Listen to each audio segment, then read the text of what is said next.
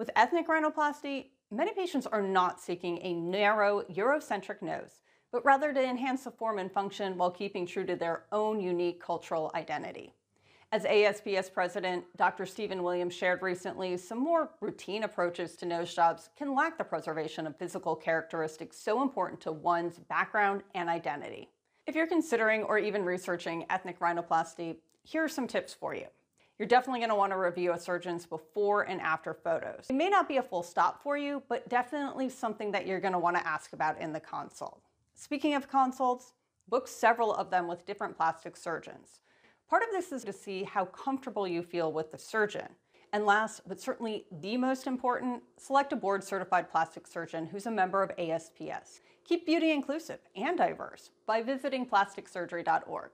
And don't forget to like and follow us to see more trend watches on your favorite social media platform.